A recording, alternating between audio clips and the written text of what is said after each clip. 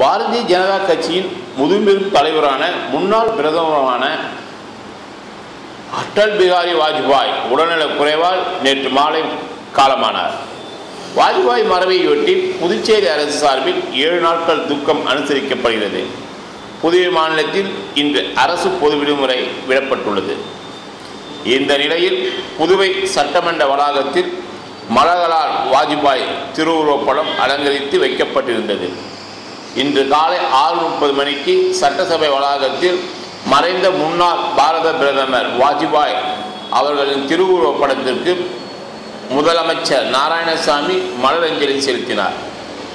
அதனைத் தொடர்ந்து சபாநாயகர் வைத்திலிங்கம் தலைமையில் சட்டசபையில் வைக்கப்பட்டிருந்த வாஜ்பாய் உருவப்படத்துக்கு அமைச்சர்கள் நமச்சிவாயம் கந்தசாமி மல்லாடி கிருஷ்ணராவ் துணை சபாநாயகர் சிவகொழுந்து சட்டமன்ற உறுப்பினர்கள் லட்சுமி நாராயணன் ஜெயமூர்த்தி ஆனந்தராமன் அன்பழகன் சிவா ஆகியோர் மலரஞ்சலி செலுத்தினர்.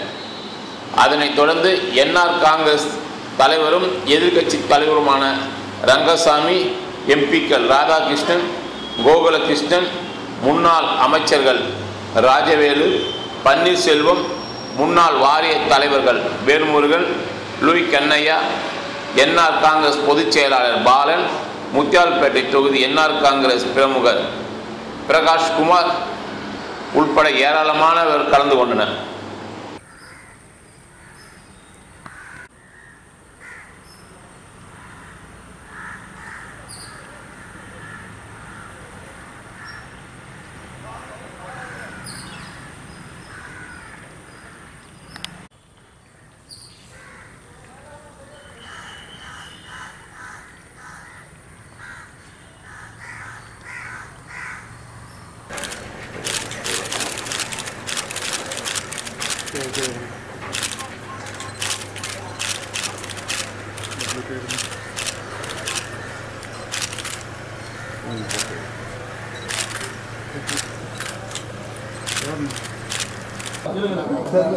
பின்னாடி வா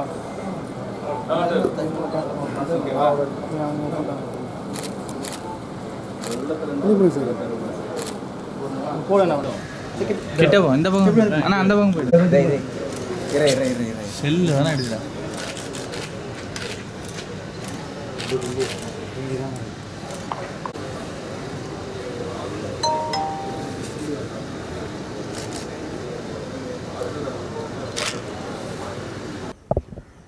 ஆ, இன்று திரு வாஜ்பாய் அவருடைய மறைவு செய்தி கேட்டு புதுச்சேரி மாநில அரசின் சார்பால் அவருக்கு அஞ்சலி செலுத்துகின்ற வகையில் இன்றைய தினம் அரசு விடுமுறை விட்டிருக்கிறோம். ஏழு நாட்கள் துக்கம் அனுசரிக்கிறோம். நேற்று முதல் இருபத்தி ரெண்டாம் தேதி வரை அரசு நிகழ்ச்சிகள் எதுவும் நடைபெறாது. குறிப்பாக புதுச்சேரி மாநிலத்து மக்கள் தேச தலைவர்கள் மீது நம்பிக்கை உள்ளவர்கள்.